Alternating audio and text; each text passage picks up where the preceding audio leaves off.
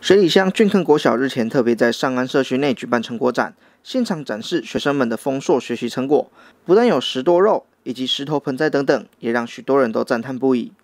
嗯，水泥盆栽，还有石多肉，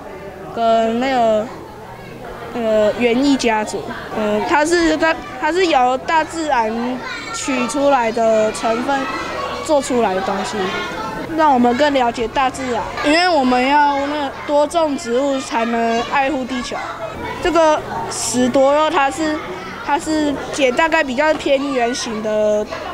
那个石头，再用亚克力涂上去。学校经费让我们制作的。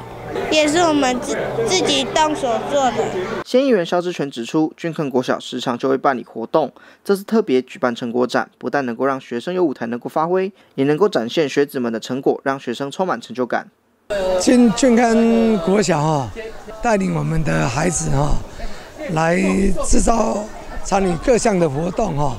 有包含植栽，还有到河床去捡石。美丽的、漂亮的石头，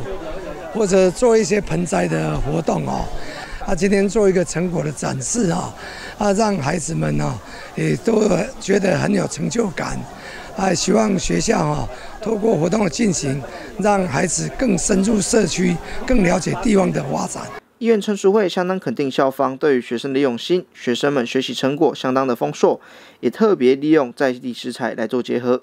整个一个才艺的课程当中，都是用在地的食材，所以每个小朋友在这个石头上的一个呃绘画，或者是增进说他们自己加上去的这些呃艺术的这个技巧性，都做得非常的成功。这可见说，金鸿国小虽然是属于偏山的一所小学校，但是在他们的啊校长在整个教育的宗旨，还有教育的推进过程当中，啊，并没有城乡差距。再次的感谢我们金坑国小谢校长团队对于金坑国小这些子弟的付出。虽然俊坑国小位在偏乡，但学生们不但有更多的学习机会，也能够多元学习，展现的成果也非常的精彩。医院们肯定校方的用心，也期望未来能够再接再厉，让学生学习更多在学校学习不到的事情。